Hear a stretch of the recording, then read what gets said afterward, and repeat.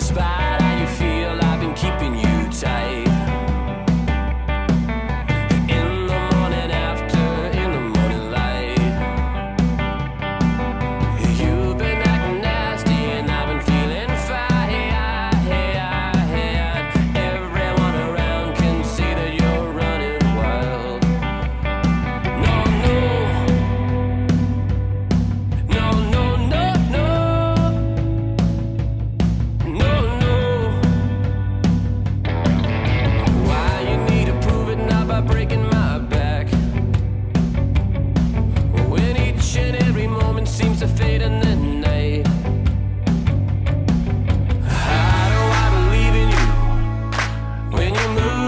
walking fast and talking slow in the wake of my ambition.